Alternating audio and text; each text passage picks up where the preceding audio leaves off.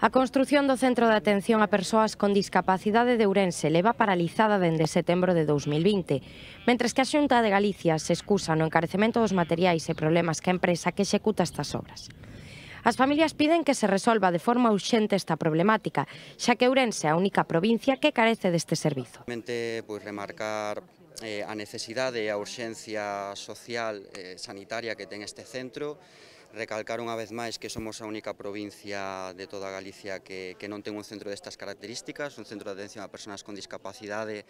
eh, con plazas públicas, de xestión pública, e que é unha necesidade palpante, eminente, e que está afectando pois a calidade de vida de, bueno, pois de todas estas persoas, de todos estes nenos, das familias, eh, e que canto máis eh, se dilate isto no tempo, pois, bueno, pois máis perxucio vai taer. O PSOE de Ourense presentará unha moción no pleno de mañá para instar a Xunta a xilizar os trámites que permitan retomar a construción do centro, que teña previsto o seu remate posta en funcionamento para marzo deste ano. Por todo isto, en a nosa moción levamos cinco puntos de acordo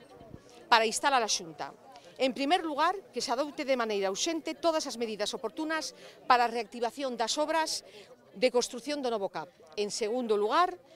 que se emita un informe técnico sobre os motivos por los cales as obras de construción do novo CAP de Orense, que deberían haber estado finalizadas en marzo de 2022, acumularon todas estas demoras, demoras que derivan agora en unha paralización sin edie da nova infraestructura. En tercer lugar, que se presenta a maior brevedade un novo cronograma de actuacións para o remate desta construcción. En cuarto lugar, que se garanta o seu compromiso económico para a xestión e o remate completo das obras tanto neste ano como para futuros. E en último lugar, é moi importante que a Xunta de Galicia se comprometa en que a xestión sea pública e directa. O secretario xeral do PSDG PSOE exíxelle a Alfonso Rueda que tome cartas neste asunto. Creo que este expediente naceu moi mal no seu día, decir, foi eh, pouco dilixente a súa contratación,